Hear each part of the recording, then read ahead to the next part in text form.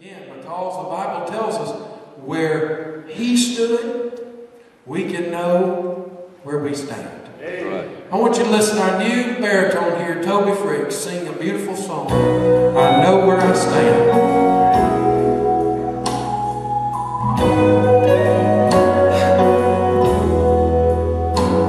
He stood and bore my guilt and shame on the rugged cross. He stood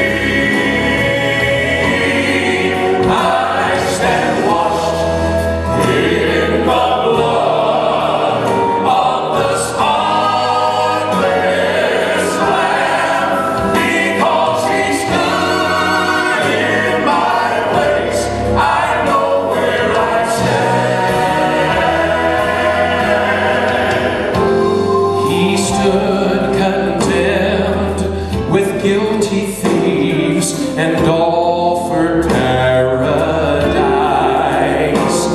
He stood above to crush death as he laid down his life. He stood over the tomb and grave with victory in his hands because